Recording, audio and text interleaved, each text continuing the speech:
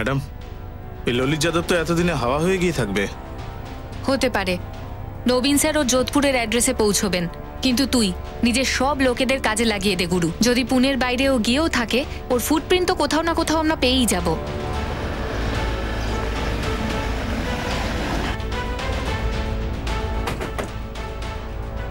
Sir এই বাড়িটা।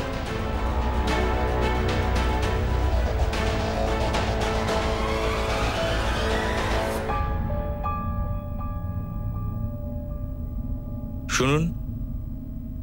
এই লোকটা ললিত যাদব না? হ্যাঁ স্যার। এই ওর বাড়িতে তালা লাগানো? হ্যাঁ স্যার। গত তিন বছর ধরে তালা দেয়া। বছরে একাধবারও আসে এখানে। শুনেছি বাইরে কোথায় কাজ করে। ওর ওয়াইফ কি এরকম দেখতে? স্ত্রী? যতদূর আমি জানি ওর বিয়েই হয়নি। এটা কি অন্য কোনো আত্মীয় হতে পারে ললিতে? ওর বাবা মা তো অনেক বছর আগে মারা গেছে। আর কোনো আত্মীয় আছে কিনা আমি জানি না। কেউ আছে যে জানে? ললিতকে পুনেতে দেখা গেছে এই মহিলার সঙ্গে। আর এই মহিলার মার্ডার হয়ে গেছে।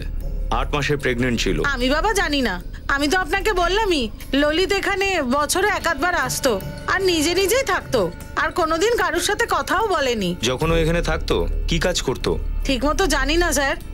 শুধু এইটুকু জানি যে তখন ও বিল্ডিং লাইনে কাজ করতো। এলাকার কেউ কি আদৌ কিছু বলতে পারছে? ললিত যাদবকে এখন কোথায় পাওয়া যাবে? না। ছ সাতজন প্রতিবেশীকে জিজ্ঞাসা করেছি। সবাই এটাই বলছে যে ও যোধপুরে কনস্ট্রাকশন লাইনে কাজ করতো। হ্যাঁ আমিও সেটাই গেস করেছিলাম। সবাই বলছে যে ও যখন লাস্ট টাইম যোধপুরে এসেছিল সবাইকে এটাই বলেছিল যে ও পুনেতে কাজ করে। স্যার পুনেতে আরেকটু দেখতে হবে। কারুর কাছে ওর কোনো ফোন নাম্বার না। ভিকটিমের ফটো দেখে কোনো রিয়াকশন না। কেউ ওর পার্সোনাল লাইফ সম্বন্ধে কিছুই জানে না। আর সবাই বলছে যে ওর বিয়েই হয়নি। পুনে শহরে ললিত যাদবকে খুঁজে বের করাটাই ছিল আমাদের মুখ্য উদ্দেশ্য। পুনের সমস্ত কনস্ট্রাকশন সাইটকে আমরা আমাদের র্যাডারে নিয়ে নিলাম। এই ভেবে যে ললিত যাদব শিফট হয়ে থাকলেও এখনও সে পুনে শহরেই আছে।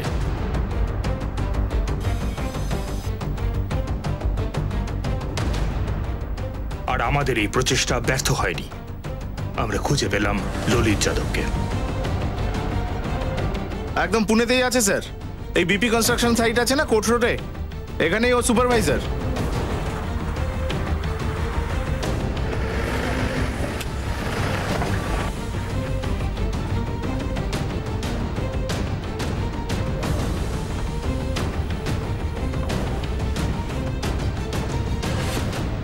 ললিত যাদব ওই দিকটাতে আছে।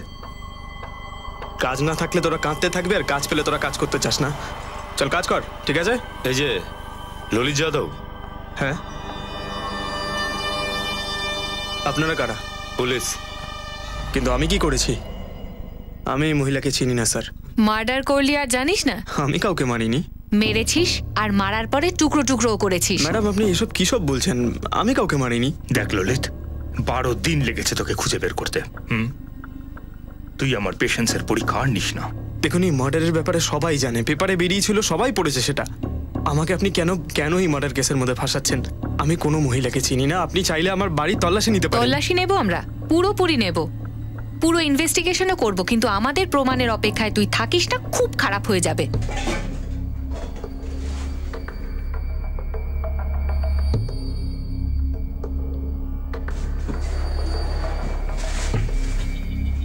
ললিত মোটামুটি আমাদের সাথে দু বছর কাজ করছে। কিন্তু কখনো ওর সঙ্গে কোনো মেয়েকে আমরা দেখিনি কিংবা ওর ব্যাপারে কিছু শুনিও নি। হ্যাঁ যদি কিছু প্রাইভেট ব্যাপার থাকে সেটা অন্য বিষয় স্যার। আমাদের মনে হয় লাশ কাটার জন্য স্টোন কাটার মেশিনকে ব্যবহার করা হয়েছে। স্যার এটা যদি বলেন যে ললিত স্টোন কাটার মেশিন নিয়ে বাড়িতে গেছে তো এটা একদম অসম্ভব। কেন? মেশিন এখান থেকে নিয়ে যেতে প্রবলেম আছে? না কষ্টকর নয় যে কেউ সহজে নিয়ে যেতে পারে। কিন্তু ললিত নিয়ে যাবে এইটা মেনে নিতে পারছি না। স্যার আমি সত্যি কথা বলছি। আমি মেকানিকের থেকে বাইকটা কিনেছিলাম মেয়েতে। আমি সেটা না বলছি না তো। হ্যাঁ দাদা। রেডি আছে? হ্যাঁ এসো। এইটাই তোমার বাইক। শুধু ওপরে একটু কাজ আছে বাকি গাড়ি একদম ফিটফাট। তারপরেও যদি কিছু হয় আমি তো আছি। এই মনোজ চাবিটাতে কিন্তু বাইকটা কিনে আমার লসই হয়েছে। অনেক খরচা হয়ে হয়েছিল তারপর আমি তারপর আমি সাইটে কথাটা ছড়িয়ে দিই যে আমি বাইকটা বেচতে চাই। কাকে বেচলি? আহ, মোহনকে। সাইটেই সিকিউরিটির কাজ করে। আহ, ওর পুরো নাম মনে হয় মোহন ত্রিবেদী। দেখ মোহন মিথ্যে বলব না তোকে। এতে কিন্তু অনেক খরচা করতে হবে। মেকানিক আমাকে মিথ্যে কথা বলেছিল কিন্তু আমি তোকে বলছি না। তো তারপরেও যদি তোর মনে হয় যে নিবি তাহলে দেখ। আমি ভালো মেকানিক দিয়ে করে নেব ললিত ভাই। এমনিতে বাসের ভাড়াও আজকাল খুব একটা কম নয়। তারপরে ট্রাফিক আছে লেট হলে সেটা আলাদা ব্যাপার। দেখো ললিত ভাই এমন একটা দাম বলো যেটা দিয়ে আমি কিনতে পারি। আমি পনেরোতে বেচি মোহনকে। আর এই ফটোতে দেখে যা মনে হচ্ছে এটা মোহনই। সত্যি বলছি স্যার জুন থেকে মোহনই গাড়িটা চালাচ্ছে। মোহন ত্রিবেদী সিকিউরিটি গার্ড এক মিনিট। মোহন ত্রিবেদী? হ্যাঁ স্যার? মোহন ত্রিবেদী? না স্যার আমার নাম রাজু স্যার। স্যার আমার মনে হচ্ছে মোহন চাকরি ছেড়ে দিয়েছে। মনে হচ্ছে মানে? মানে কয়েকদিন ধরে ও ডিউটিতেও আসছে না আর ফোনটা সুইচ অফ রয়েছে যাদব বলছে যে ওর নিজের বাইক সিকিউরিটি গার্ড মোহনকে বেচে দিয়েছিল। এই ব্যাপারে আমি কিছু জানি না স্যার। হতে পারে ওদের দুজনের ডিল হয়েছিল। মোহন তো বারোই সেপ্টেম্বর থেকে ডিউটিতেই আসেনি। স্যার আমি সিনিয়র সুপারভাইজারকে বলেছিলাম যে অন্য কোনো গার্ড দেখে নিতে। স্যার মোহন ফোন তুলছিল না। স্যার বিশ্বাস করুন আমার কথা। এই বাইকে মোহনই আছে আমি না। আর এই যে মহিলা বসে আছে বাইকের পেছনে এ কে? আর সেই প্রেগনেন্ট মহিলা যাকে টুকরো করে ফেলে দেওয়া হলো সে কে? আমি জানি না স্যার। আমি এটাও জানি না মোহন এমন কেন করেছে। সাদা সিধে ছেলে। তার মানে তো এটাই দাঁড়াল তুই করেছিস। আর সমস্ত দোষ মোহনের খাটি সব বলছেন স্যার। আমি কেন করতে যাব? আমি করিনি স্যার। আমি একা থাকি। আপনি আপনি চাইলে আমার বাড়ি গিয়ে তল্লাশি করতে পারেন। পাড়ার লোককে জিজ্ঞেস করুন আমি সৎপথে রোজগার করে খাই। আমি কেন করতে যাব এমন? স্যার সিকিউরিটি এজেন্সি থেকে মোহন ত্রিবেদীর অ্যাড্রেসটা পেয়েছি। ওখানেই যাচ্ছি। বারোই সেপ্টেম্বর থেকে নিরুদ্দেশ। আমার মনে হয় না ওখানে পাওয়া যাবে। তবুও দেখো একবার। স্যার স্যার মোহন ত্রিবেদীর কল রেকর্ড আমরা খুব তাড়াতাড়ি পেতে চলেছি। কিন্তু স্যার ললিতকে আমাদের ছেড়ে দেওয়া উচিত না। ও কিন্তু পালিয়ে যেতে পারে। স্যার এই কেসটার মধ্যে আমরা বাইক বেচা কেনার ভেতরে ফেসে গেছি। আসল ব্যাপার অবধি পৌঁছতেই পারছি না। আমার খুব অদ্ভুত লাগছে গীতা। শহরে একজনও কেউ এগিয়ে এলো না ভিকটিমকে আইডেন্টিফাই করার জন্য। এই মহিলার আর কেউ ছিলই না নাকি? তাহলে কি সে পুনের বাইরের কেউ?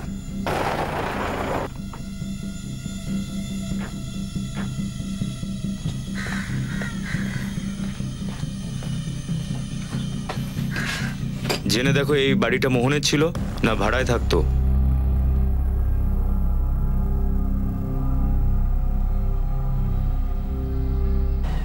আট মাস আগে? আগে স্যার। ফেব্রুয়ারি দু হাজার সতেরোতে মোহন বাড়ি খালি করে দেয়। এখন কোথায় আছে? সেটা তো আমি জানি না কিন্তু এগ্রিমেন্টে ওর গ্রামের অ্যাড্রেস আছে। তাহেরগঞ্জ কানপুর উত্তরপ্রদেশ? কানপুর ডিস্ট্রিক্টের অন্তর্গত এই তাহিরগঞ্জ। তাড়াতাড়ি বেরোচ্ছে টিম নিয়ে।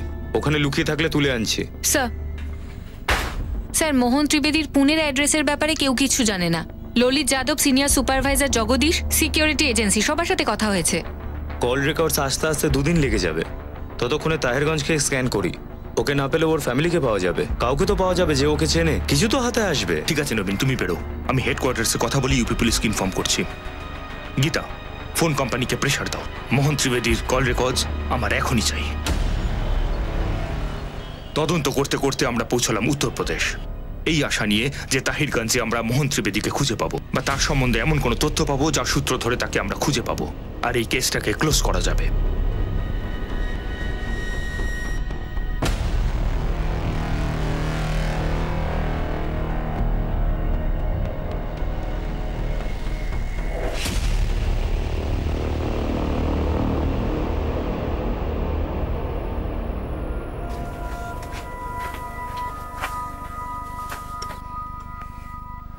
পান্ডেজি এই গ্রামে গ্রাম প্রধানের সঙ্গে কথা বলতে চাই। সেখান থেকে যদি কিছু জানা যায়। হ্যাঁ স্যার।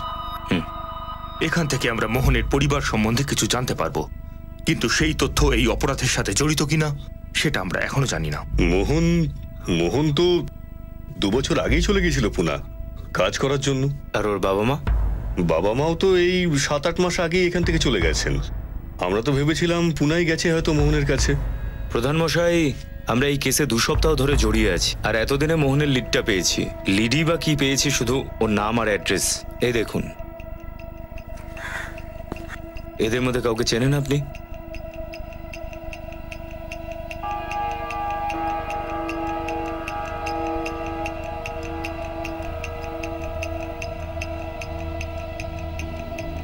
এটা দেখে কেউ কি করে বুঝবে কিছু স্যার? দেখুন প্রধান মশাই আমরা অনেক দূর থেকে এসেছি। আরেকবার ভালো করে দেখুন প্লিজ। হতে পারে আপনি কিছু বলতে পারেন। বেশ মুশকিল। তবে একটা কথা আপনাকে বলতে পারি। এই মোহনের মা বাবার ব্যাপারে। অ্যাড্রেস আছে ওনাদের? নাম্বার আছে? না দুটোই নেই কিন্তু একটা কথা আছে। দেখুন হয়তো আপনাদের কাজে লাগতে পারে। বলুন। একটা লোক ছিল কমল পাঠক নাম ছিল তার।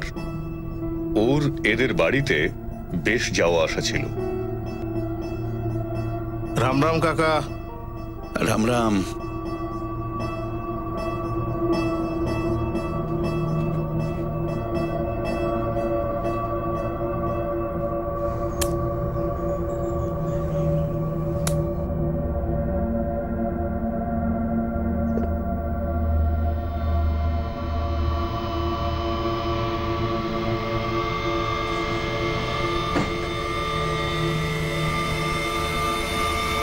ব্যাপারটা কারোর কাছে গোপন ছিল না।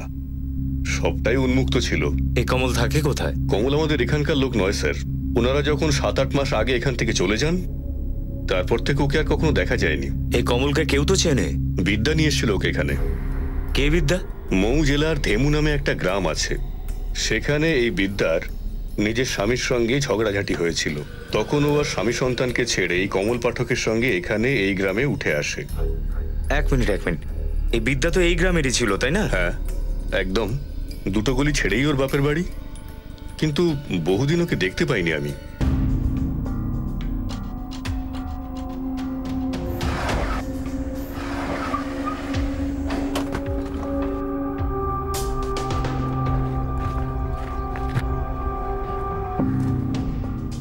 আমরা মহারাষ্ট্র পুলিশ থেকে। বিদ্যা বর্মা এখানেই থাকে? হ্যাঁ স্যার। আমি বিদ্যার বাবা। কি ব্যাপার স্যার? বিদ্যা কোথায়? ও এখানে নেই। কমল পাঠকের সাথে আছে? ব্যাপারটা কি সেটা বলবেন তো? আমরা মোহন ত্রিবেদীকে খুঁজছি। কিন্তু স্যার আমার মেয়ের সঙ্গে তার কি সম্পর্ক? আপনি জানেন না? পুরো গ্রাম জানে। আপনার মেয়ে বিদ্যা এই কমলকে নিয়ে এখানে এসেছিল। আর কমল মোহনের বাড়িতে আসা যাওয়া শুরু করেছিল। কেন শুরু হয়েছিল? এটা আপনারাও জানেন। এখন আমরা মোহনের মা বাবাকে খুঁজছি যাতে মোহনকে খুঁজে পাই। সেই জন্য আমাদের বিদ্যাকে চাই। অনেকদিন ধরে এখানে নেই। আর টাকাও পাঠাচ্ছে না আমাদের। নিজের স্বামী আর বাচ্চাকে ছেড়ে ওই কমলের সঙ্গে এখানে চলে আসে। আর কমল নিজের পরিবারকে ছেড়ে এখানে চলে আসে। তার মানে এই কথাটা এই হলো যে বিদ্যা কমলের সঙ্গে চলে গেছে। হ্যাঁ চলে গেছে। কে জানে কি ঢুকেছিল আমার মেয়েটার মাথায়। কি অঘটন করল নিজের হাতে নিজের সংসার শেষ করে দিল। স্যার ধেমোগ্রামে গিয়ে কমলের ব্যাপারে জিজ্ঞেস করুন। আসলে স্যার কমলকে আপনারা কেন খুঁজছেন? আসলে ও একটা কেসের মধ্যে ইনভলভ যাই হোক ওই কেসটার কথা ছেড়ে দিন। আপনাদের কাছে বিদ্যার নাম্বার আছে? নাকি সেটাও নেই? হ্যাঁ আছে। আপনি একটু দাঁড়ান। এই কেসটার উৎপত্তি এইখানে বিদ্যার বাড়িতেই ছিল। ঘুরে ফিরে আমাদের এখানেই আসতে হতো। ধেমুগ্রাম মাউজেলা। হ্যাঁ স্যার। এই কমল পাঠকের পেছনে পড়ে যাই? কি জানি মোহন পর্যন্ত কোনো লিড পাওয়া যেতে পারে। ঠিক আছে ঘুরে এসো ধেমু। সন্ধ্যের মধ্যে মোহন কল রেকর্ডস পেয়ে যাব। হতে পারে তার আগে মোহনকেই পেয়ে যাই। মাউ জেলার থেমুগ্রাম থেকে আমরা আশা করেছিলাম যে কমল পাঠক সম্বন্ধে কোনো লিড পেয়ে যাব আর সে আমাদের মোহন ত্রিবেদী আর তার পরিবারের কাছে পৌঁছে দেবে। এবার আমরা সম্পূর্ণ বিশ্বাস করতে শুরু করি যে এই ভয়ঙ্কর হত্যাকাণ্ডের চাবি মোহন ত্রিবেদীর হাতেই ছিল। দেখুন কমল শুধু আমার নামেই স্বামী। অনেকদিন উনি আমার সাথে থাকেন না। এখন কোথায় পাওয়া যাবে ওকে? সেটা ওনাকেই জিজ্ঞেস করুন না যার সাথে থাকে। বিদ্যা বর্মা গা শুদ্ধ সবাই জানে ওদের ব্যাপারে। দু বছর হয়ে গেছে আমি ওনার মুখ দেখিনি পর্যন্ত। ওই মহিলার জন্য আমাকে আর আমার বাচ্চাদের ছেড়ে চলে গেছে ও। এই দু বছরে কখনো ফোনে কথা হয়েছিল ওর সঙ্গে? কেন ফোন করবে? আর কথা বলবেই বা কেন? মোহন ত্রিবেদীকে চেনেন আপনি? সে আবার কে? ছাড়ুন। বিদ্যা বর্মার হাজবেন্ডকে কোথায় পাবো? সন্তোষ দাদা। হ্যাঁ? পুনা থেকে পুলিশ এসছে। পুলিশ? আপনারা কি মনে করেছেন? ওই অসভ্য মেয়েটার খোঁজ খবর আমি রাখতে যাব হ্যাঁ? আর ওর ব্যাপারে যদি আমি আপনাদের কাছে কিছু না বলি তাহলে আপনারা আমাকে জেলে পুড়ে দেবেন হ্যাঁ? এই মুহূর্তে আমাদের কাছে তোমার বিরুদ্ধে কোনো প্রমাণ নেই সন্তোষ। চুলে গেছে আপনারা আর আপনাদের খোঁজ খবর। বিদ্যা আমার জন্য মরে গেছে। আর ওই কমল কুত্তা যদি ওর খোঁজ পান না আপনারা সাহেব টুকরো টুকরো করে কেটে ফেলুন ওই হারামির বাচ্চাকে। বিদ্যা কমলের সঙ্গে কেন পালিয়েছিল? সে তো আপনারা শুনেই থাকবেন যে আমি ওর উপরে হাত তুলতাম। কি করব সাহেব? তিন তিনজন বাচ্চার মা পর পুরুষ দেখলেই খালি লটর পটর। মোহন ত্রিবেদীকে চেনো? ওর মা বাবা রোহিণী আর রাজেন্দ্র ত্রিবেদী? এদের ব্যাপারে আমি কিচ্ছু জানি না। নামও শুনিনি এদের ব্যাপারে। স্যার, সত্যি এটাই যে আমার কাছে কারুর ব্যাপারে জেনে, কারুর খোঁজখবর করার এত সময় নেই। দুটো মেয়ে আমার, যাকে পালন করতে হবে, বড় করতে হবে, বিয়েও দিতে হবে তাদেরকে। আর সাহেব, আমার না একটা ছেলেও আছে। কিন্তু ওই হারামির বাচ্চা বিদ্যা ওকে নিয়ে যে কোথায় গেছে, আমি কিচ্ছু জানি না, স্যার। নমস্কার।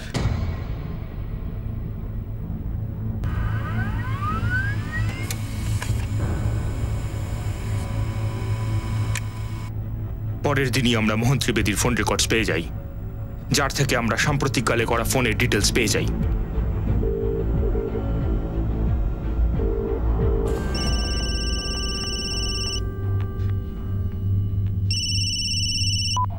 হ্যালো কে বলছেন আপনি? ফোনটা তো আপনি করেছেন। আপনি কে বলছেন? মোহন ত্রিবেদীকে কি করে চেনেন আমার ছেলেও? এখন আপনি কোথায়? আগে আমি বাড়িতে আছি। আপনি কে বলছেন বলুন তো? আর মোহন? মোহন গ্রামে গেছে হয়তো বলে যায়নি আমাকে। কিন্তু আপনি বলুন তো আমাকে কে বলছেন আপনি?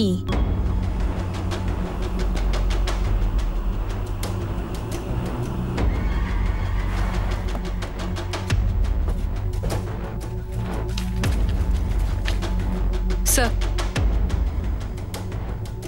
রোহিণী ত্রিবেদী এখানেই থাকেন? হ্যাঁ আপনারা? রোহিণী? রোহিণী। আগে হ্যাঁ? কি ব্যাপার বলুন তো?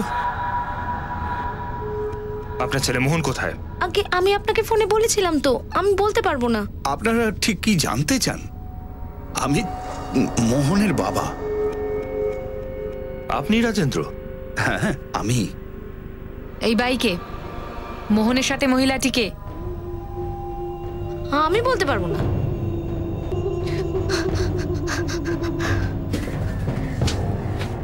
আর এই বাচ্চাটিকে? আমার ছেলেও। এও? এ মানে? আর ইনিকে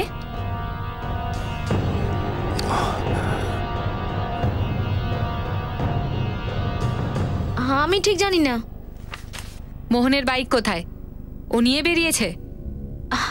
আমি জানি না আমি তো গ্রামে থাকতাম। আট মাস আগেই এসেছি মোহনের সঙ্গে থাকার জন্য। আর কমল পাঠকও এই গ্রামের। আর বিদ্যা বর্মাও বিদ্যা বর্মা কোথায়? আরে আমি কি বিদ্যা বর্মা আমার মায়ের নাম। মা আমাকে নাম বলে চলে গেছে। বিদ্যা বর্মা তোমার মা হয়? হ্যাঁ। রাজেন্দ্র বাবু রোহিণী? কি বলছে বাচ্চাটা? হ্যাঁ, এই তো আমাদের নিজেদের মতো হ্যাঁ হ্যাঁ বিদ্যা বর্মার ছেলে আপনারই ছেলের মতন। বিদ্যা বর্মা কোথায়? এখানেই তো ছিলেন কমলের সঙ্গে কোথাও চলে গেছেন। তো কমল কবে গেছিল সেটা তো জানেন নিশ্চয়ই। ওরা দুজন তো এখানেই থাকতো। হ্যাঁ দুজনে এখানেই থাকতো। বিদ্যাও এখানে থাকতো কিন্তু ওরা দুজন চলে গেল কিচ্ছু না বলে। এখন তো ছেলেটা রোজ জানতে চায় মা কোথায় মা কোথায়? ওদের গ্রামেও তো কেউ জানে না যে কোথায় আছে। বলুন তো আমরা কি বলতে পারি আর সেই জন্য তো আপনাদেরও বললাম ও আমাদের সন্তান। রাজেন্দ্র বাবু চলুন আমাদের সাথে। কিন্তু কোথায়? থানায়। সেখানে গিয়ে নিশ্চিন্তে কথা বলা যাবে? আপনারা যা জানতে চাইছিলেন আমরা তো সব বললাম আপনাকে। এখন পুরো বাড়ি তল্লাশি করো।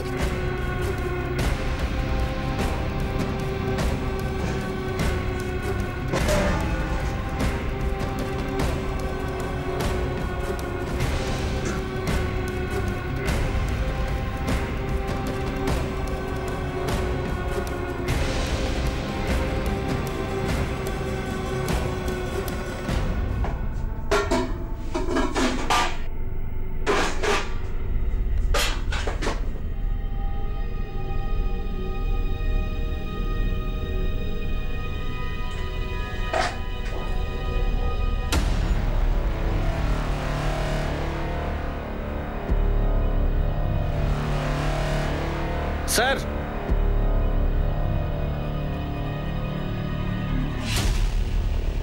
ইলেকট্রিক কাটার মেশিন তো। সিল করে দাও এটাকে।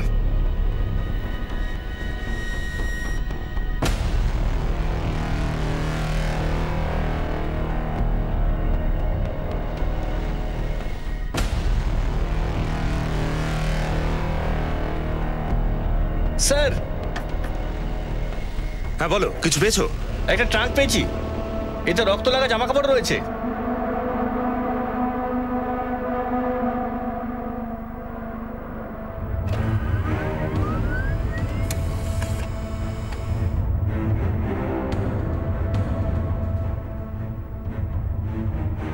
আগে সত্যি কথা বিদ্যা ছ মাসের প্রেগনেন্ট ছিল যখন ও এখান থেকে চলে গেছে। আপনি আগে কেন বলেননি? সেটা তো আপনি জিজ্ঞেস করেননি। আর দ্বিতীয় কথা আমরা কোন মুখে বিদ্যাকে জিজ্ঞেস করতাম? ও জানতো কি না সেটাও আমরা জানি না। যে ওর বাচ্চার বাবা কে? এমনিতে স্যার আমাদের নাতি রাহুল কেমন আছে? ভালো নেই শম্ভুবাবু। বেশ ভয় পেয়ে আছে। আমরা ওর সঙ্গে কথা বলে জানার চেষ্টা করছি যে কি হয়েছিল। অপরাধ ঘটে যাওয়ার প্রায় দু সপ্তাহ বাদে আমরা সেই মহিলার আসল পরিচয় জানতে পারি। ইনি হলেন বিদ্যা বর্মা কিন্তু এনাকে খুন কেন করা হয় সেটা জানা এখনও বাকি। একে তো আপনি জোর করে আমাকে বাড়ি থেকে নিয়ে এসেছেন এখানে। এতক্ষণ ধরে বসিয়ে রেখেছেন আর বারবার সেই একই প্রশ্ন করছেন যার উত্তর আমি জানি না বলেই দিয়েছি। আপনার কি মনে হয় যে আমি ভয় পেয়ে যাব? এরকম ভাবে প্রশ্ন করলে আমি সমস্ত দোষ স্বীকার করে নেব। রোহিণী আপনাকে আমি ভয় দেখাচ্ছি না। আপনি উত্তর দিচ্ছেন না। আমরা সেই ইলেকট্রিক কাটার মেশিন এবং রক্তমাখা জামা কাপড় সম্বন্ধে জানতে চাইছি যেটা আপনার বাড়িতে পাওয়া গেছে। বিদ্যা বর্মার খুন আপনার বাড়িতেই হয়েছে। আপনি মোহন আর কমল পাঠকের ব্যাপারে জানতে চান তো? তাহলে শুনুন। ওরা দুজন একদিন কিছু না বলে কোথাও চলে যায়। ঠিক সেরকম ভাবে যেভাবে বিদ্যা না বলে চলে গেছিল।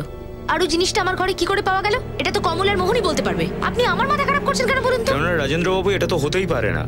যে কমল বা মোহন দুজনে মিলে আপনার বাড়িতে বিদ্যাকে মেরেছে হাতিয়ার আর কাপড় লুকিয়েছে আর আপনি আর আপনার স্ত্রী কিছুই জানতে পারেননি। ভুল। আমাদের বাড়ির মধ্যে কিছু হয়নি। সেই জন্য আমি কিছু জানতাম না। রোহিণী সত্যিই আপনার ওয়াইফ হ্যাঁ সত্যি স্ত্রী। আপনি না মানলে আমি কি করতে পারি? না ওখান থেকে তেমন কোনো আওয়াজ শুনিনি আমরা কাটার মেশিনের। মানে আপনারা বলছেন যে ঘরের ভেতর ওই মহিলার লাশটা কেটেছে? এই মহিলাটা এখানে এসেছিলেন নাকি? এদের বাড়িতে? আরে ওনার বাড়িতে কে আসে যায় সে তো জানি না। হ্যাঁ একটা বাচ্চা ছিল। রাহুল? হ্যাঁ সে। সে বেচারা তো সবাইকে জিজ্ঞেস করে আমার মাকে দেখেছ নাকি? আমার মা কোথায়? দু তিনবার ওই ছেলেটা আমার কাছে আসে। আমি ফোনও করেছিলাম কিন্তু যে নাম্বারটা ও দিয়েছিল সেটা বন্ধ ছিল। আর এই মহিলাটা যার নাম আপনি বিদ্যা বললেন একে তো আমি কখনো দেখিনি। বাবু রাহুল তোমার বাবা আসছে তোমায় নিয়ে যাওয়ার জন্য। মাও আসছে? না। আমার মা কোথায় গেছে? রাহুল তুমি তোমার মাকে লাস্ট কবে দেখেছিলে? আর কোথায় দেখেছিলে? আমি মাকে জড়িয়ে ধরে শুয়েছিলাম।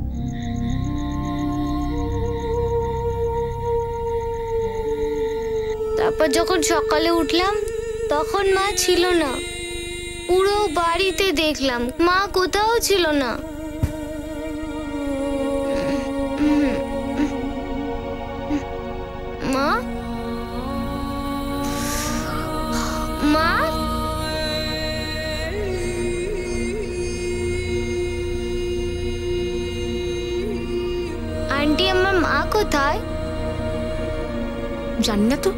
রাতে কোথাও চলে গেছে। কোথায় গেছে? আঙ্কেল আমার মা কোথায়? বাবা তোমার মা গ্রামে গেছেন। দু চার দিনে চলে আসবে। ঠিক আছে? যাও খেলা করো। বাবা আমরা অনেক কল করেছি কিন্তু তোমার মা তো ফোন বন্ধ করে রেখেছে। কিন্তু মা আমায় সাথে নিয়ে গেল না কেন মোহন দাদা? সেটা তো তোমার মাকে জিজ্ঞেস করলেই ভালো। আমি কিছুক্ষণ পর আবার চেষ্টা করছি। যদি ওনার সাথে কথা বলতে পারি তাহলে জিজ্ঞেস করব ঠিক যে কেন রাহুলকে নিয়ে গেল না।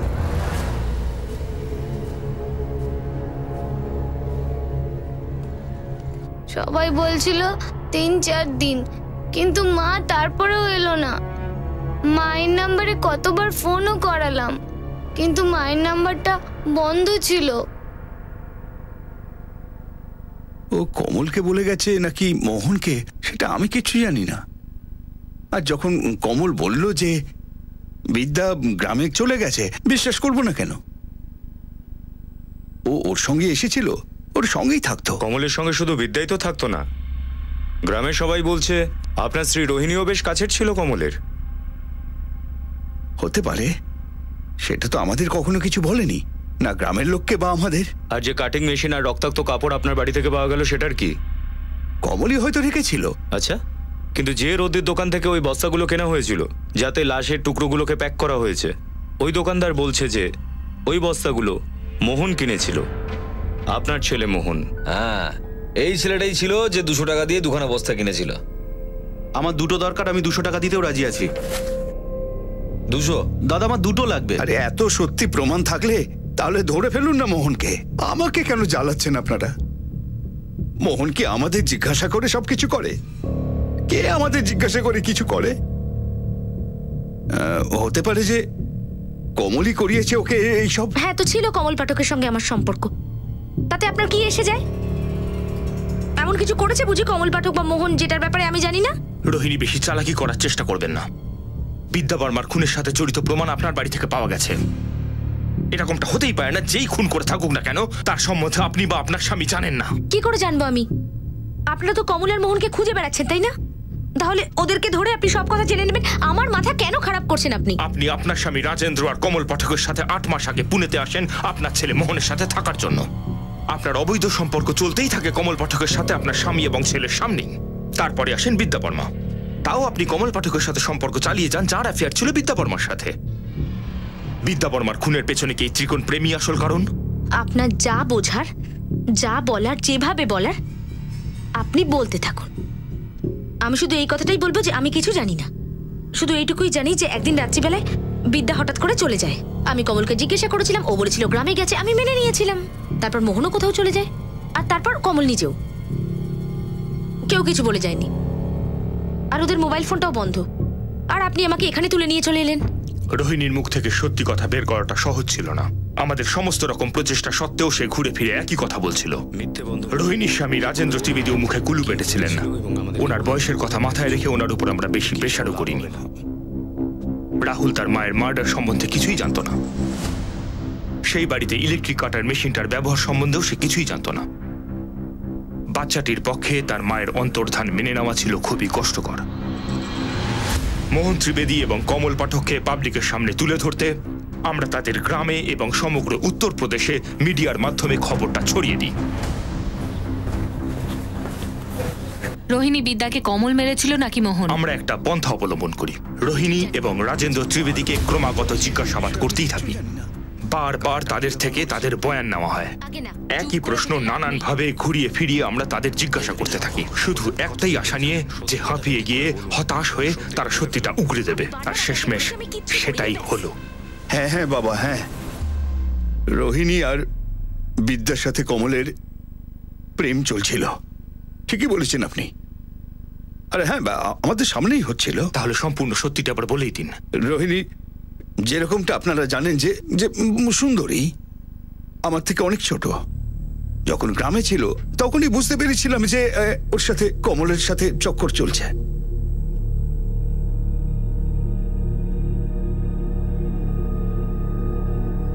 চুপ করে থাকিস না। বল। বিদ্যার সাথে কমল তোদের গ্রামে এলো, তারপর তোর সাথে বন্ধুত্ব হলো, প্রেম হলো, অনেক কিছু হলো। তারপর বলে ফেল। সবকিছু হয়েছিল। সবকিছু হয়ে গেছিল। তারপর তো কমলকে কারোর সঙ্গে ভাগ করতে পারিনি। সেই জন্য মোহনকে ফোন করে বলি যে আমি ওর বাবা আর কমল। তিনজন পুনেতে আসব ওর সঙ্গে থাকার জন্য। যদি বাড়িটা ছোট হয় না তাহলে একটা বড় বাড়ি ভাড়া নিতে হবে। যদি কমল কিছু রোজগার করে না তাহলে বাড়ি ভাড়াটা ও দিতে পারবে তাই না? হ্যাঁ ঠিক আছে মা আমি বলছি তাহলে। আমি ভেবে জানাচ্ছি। আরে ভাবাটা আবার কি আছে এর মধ্যে? যত তাড়াতাড়ি সম্ভব একটা বাড়ি ভাড়া নিয়ে নে। আমি দু তিন দিনের মধ্যে আসছি পুনেতে থাকার জন্য তোর সাথে। দু তিন দিনের মধ্যে? হ্যাঁ দু তিন দিনের মধ্যে। আমি আসছি। কমল ওই পুনে যাওয়ার ব্যাপারটা না বিদ্যাকে তুমি একদম বলবে না ঠিক আছে? বলব না। আমার দিবিকে বলো তুমি? কথায় কথায় তো দিব্যি দিও না তো। একবার বলেছি তো আমি যে বলব না। মানে বলব না।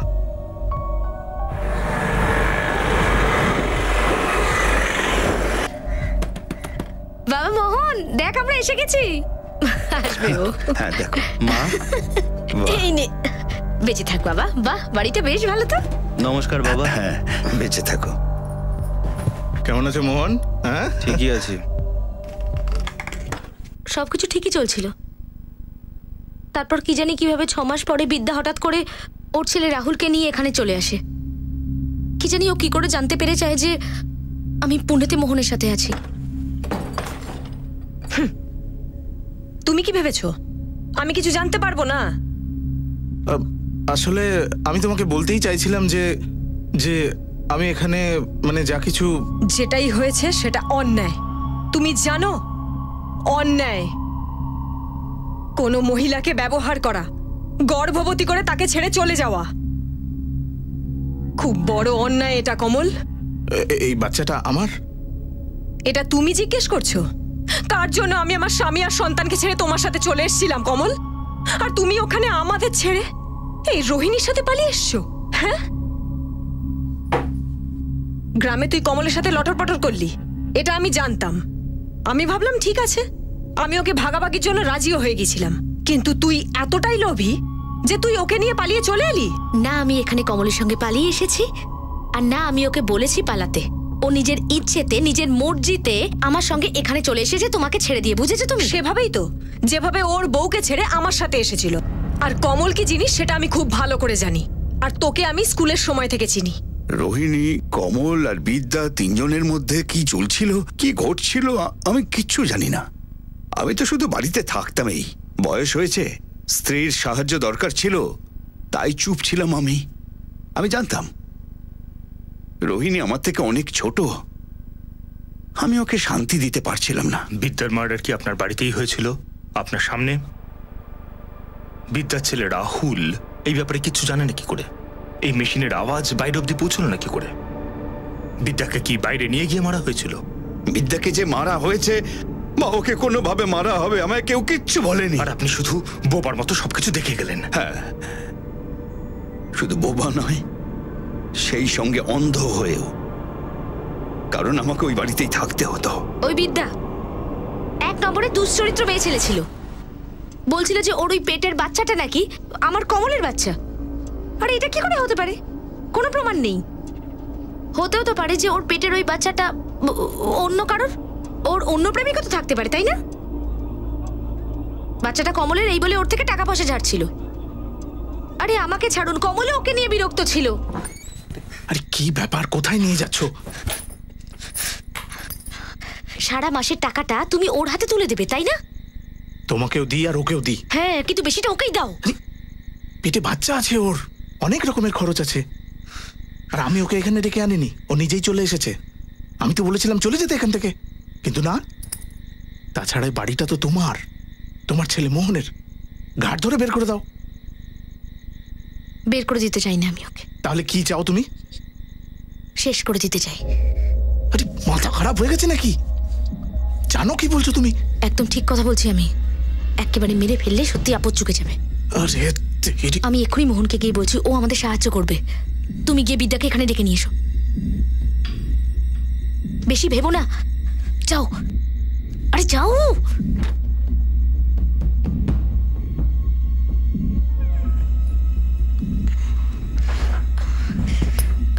মোহন মোহন ওঠ না কি হয়েছে মা? তোর সঙ্গে একটু কথা আছে। এত রাতে আবার কি কথা? বিদ্যাকে শেষ করে ফেলতে হবে। আর এটাই সঠিক সময়।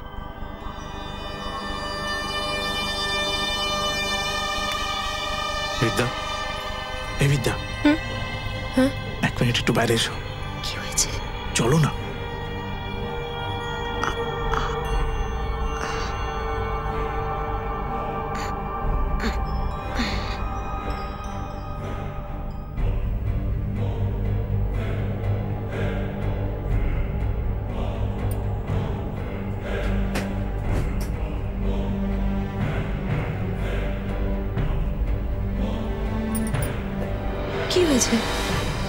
বলতে চাও তোমরা সবাই?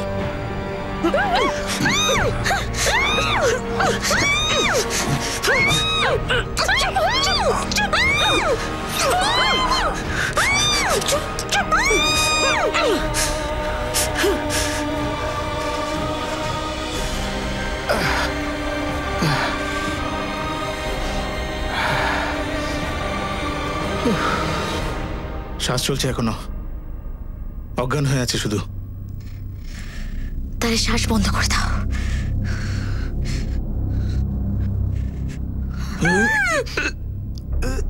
আমি শুধু রান্নাঘর থেকে কিছু আওয়াজ পেয়েছিলাম। ব্যাস তারপর আমি বুঝতে পেরেছিলাম যে কি হয়েছে। এই সমস্ত ঘটনা ঘটে চৌঠা সেপ্টেম্বর। তাহলে পাঁচই সেপ্টেম্বর বিদ্যার লাশটা সারাদিন বাড়িতেই ছিল। ওরা ওকে তো মেরেই ফেলেছিল। কিন্তু তারপরে ওরা কি করবে? কেউ কিছু বুঝতে পারছিল না। আমরা লাশটাকে বিছানার নিচে চাদর দিয়ে মুড়ে রেখেছিলাম। আর রাহুলকে বলেছিলে যে ওর মা গ্রামে গেছে। আর কি বলতাম? এটাই বলতাম যে ওর মাকে মেরে ফেলেছি আমরা। তারপরে কি হলো?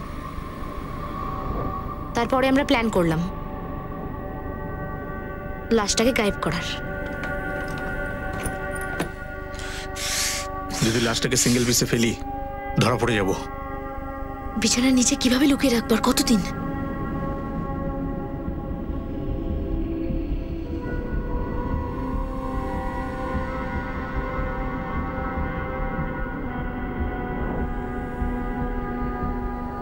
এরপরে লাশটা পচে গন্ধ বেরোবে। সেই থেকে রাহুল মামা করছে। এখন তো কিছু করা যাবে না। যা করার না আমাদের রাত্রিবেলাই করতে হবে। দেখ রাত পর্যন্ত অপেক্ষা করা যাবে না। আমি বলি যে লাশটাকে টুকরো করে ফেলি। আর এগুলোকে ভরে আলাদা জায়গায় ফেলে দিই। মনে একটা কাজ কর হ্যাঁ? ওই ওই কাটার হয় না? Stone cutter? ওটা নিয়ে আয়। আর হ্যাঁ শোন ওই বস্তাও নিয়ে আসবি আর পলিথিনের প্যাকেটও নিয়ে আসবি। ওটা ভরে ফেলে দেবো। যা।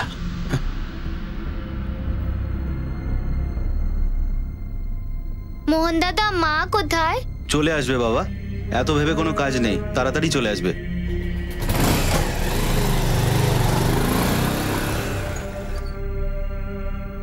আমি রাত্রিবেলায় রাহুলকে ঘুম পাড়ালাম তারপর বিদ্যার লাশটাকে নিয়ে গিয়ে বাথরুমে কেটে ফেললাম। কীভাবে কাটলে? রাহুল আওয়াজ শুনে ওঠেনি জিজ্ঞেস করেনি? জিজ্ঞেস করিনি। কিছু বুঝতে পারিনি।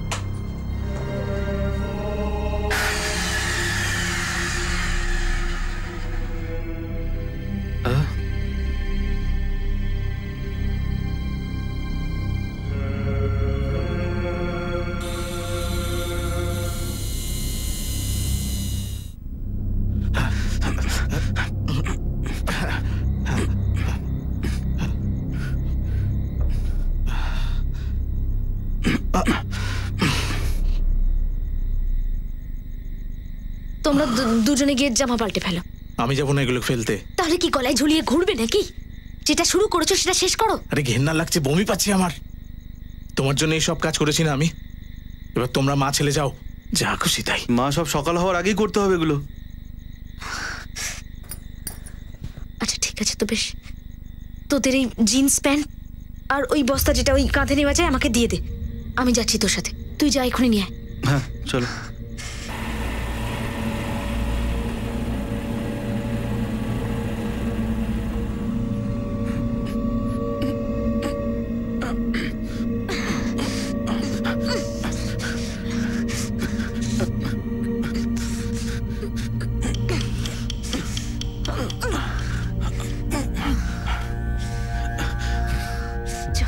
মা এটা সঠিক জায়গা মনে হচ্ছে না। কোনো আবর্জনা ফেলে আসলে ভালো হতো। একেবারে ঠিক জায়গা। তাড়াতাড়ি করে এটাকেও ফেলে দে। আর এখান থেকে চল। চল।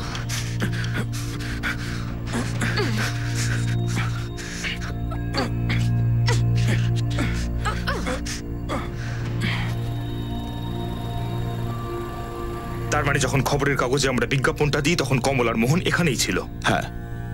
কিছুদিন অবধি ছিল। তারপরে মোহন চলে গেল। ও বলতো ওর মাথা খারাপ হয়ে যাচ্ছে। রাহুল বারবার মায়ের কথা জিজ্ঞাসা করত। তারপর একদিন কমলও চলে গেল। আমি সত্যি কথা বলছি। কমল আমাকে বলে যায়নি যে ও কোথায় চলে গেছে। মোহন কোথায় রোহিণী? বাইক নিয়ে গেছে? জানি না নিয়ে গেছে হয়তো। হয়তো কোথাও লুকিয়ে রেখেছে। কোথায় লুকিয়ে রেখেছে? দেখ রোহিণী যখন এতটা সত্যি তোর থেকে বের করে নিতে পেরেছি তখন বাকি সত্যিটাও কীভাবে বার করতে হয় সেটা আমরা জানি। বল। দেখুন আপনারা যদি চান তো আমি আপনাদের মোহনের ঠিকানা বলতে পারি। কিন্তু কমল কোথায় আছে? এটা আমি জানি না। আর ওর ফোনটাও বন্ধ আছে। মোহন কোথায়? মোহন একটা লজ থেকে পালিয়ে আর একটা লজে কাটাকা দিচ্ছিল আলাদা আলাদা নম্বর থেকে তার মা রোহিণীর সাথে যোগাযোগ রাখছিল। শেষ শেষমেশ আমরা তাকে ধরতে পারি উত্তরপ্রদেশ থেকে। কি ঘটেছিল সেদিন রাতে? আমি শুয়েছিলাম স্যার। জিজ্ঞাসাবাদকালে মোহনও ঠিক সেই একই কথা বলে যা তার মা রোহিণী বলেছিল। ওই যে তোমার দিদা। চাইল্ড কেয়ার কমিটির সমস্ত ফর্মালিটিস পূরণ করার পরে রাহুলকে বিদ্যার সন্তানকে বিদ্যার মা বাবার হাতে তুলে দেওয়া হয়। তাদের মেয়ের সাথে কি ঘটেছিল তা জেনে তারা একেবারে ভেঙে পড়েন। কমল পাঠকের গ্রামে একটা কনস্টেবল লাগিয়ে দিয়েছি সার্ভেলেন্সের জন্য। কিন্তু কমলকে এখনও দেখা যায়নি। ইউপি পুলিশের সাথে কথা বলে কমল পাঠকের নামে একটা লুকআউট নোটিশ ইস্যু করো। পুরো ইউপি স্টেটের সমস্ত থানায় এই নোটিশ যেন যায়। এই কেসে একমাত্র এই অপরাধীকেই গ্রেফতার করা বাকি আছে। ঠিক আছে। আমি ইউপি পুলিশকে ব্যাপারটা জানাচ্ছি।